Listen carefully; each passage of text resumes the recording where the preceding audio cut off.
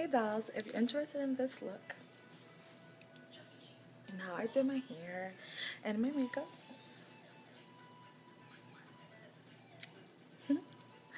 leave a comment in the inbox below and don't forget to thumbs up this video and to subscribe to my channel.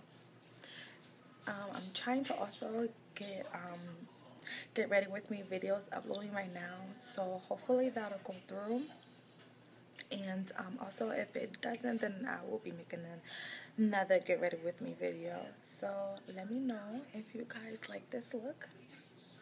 If you guys like my makeup. And everything else. So yeah. Don't forget to thumbs up this video. Please thumbs up this video and to subscribe to my channel. Later dolls